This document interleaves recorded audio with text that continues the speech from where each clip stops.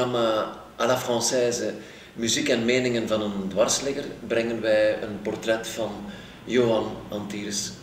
Johan Antires is waarschijnlijk voor veel mensen een onbekende. Voor andere mensen was hij een fijn journalist. Johan Antires is tien jaar overleden en alhoewel wij hem niet persoonlijk hebben gekend, sprak hij ons aan omwille van zijn mooie verhalen en omwille van zijn liefde voor het uh, Franse chanson.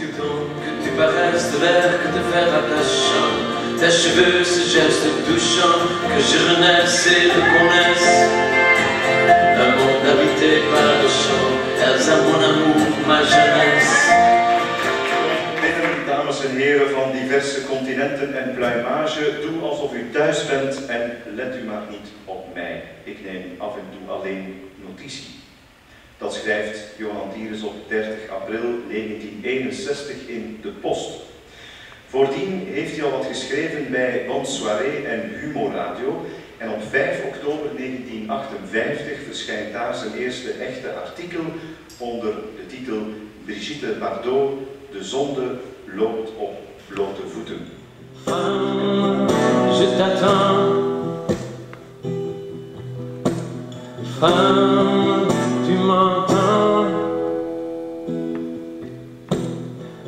Femme, je t'attends.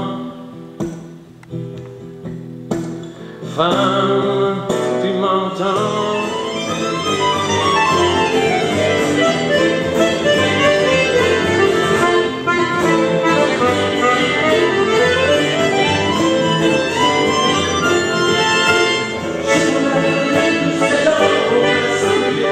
We hebben een programma samengesteld waarbij we met veel sfeer enkele van die verhalen van Antires brengen.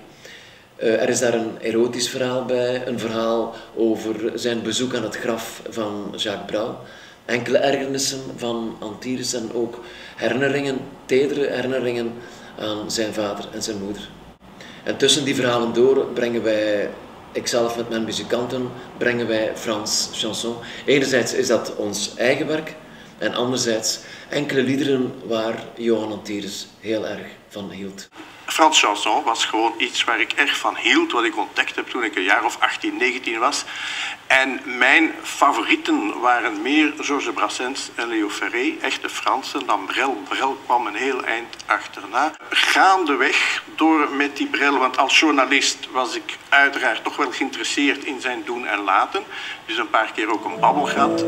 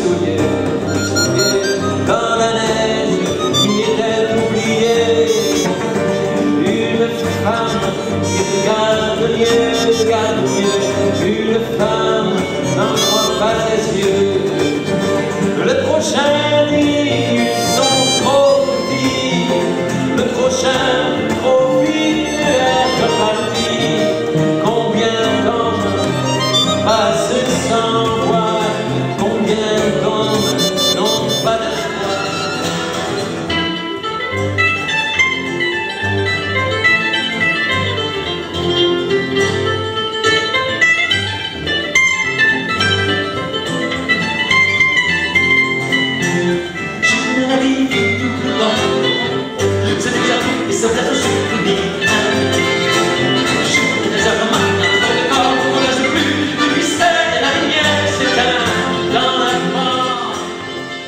Johan. Een jaar of vier voor je dood moet het geweest zijn dat ik in de Brusselse bioscoop El Dorado op het Broekeireplein een film zag. Welke film dat was, ben ik vergeten. Maar ik herinner me wel dat jij en je echtgenote plaats hadden genomen in de zetels voor me. Zo dichtbij, de schrijver, journalist, publicist die ik als jong student bewonderde, wiens teksten ik gretig las. Trouw abonnee en lezer van je satirische weekblad De Zwijger. En oh ja, ik.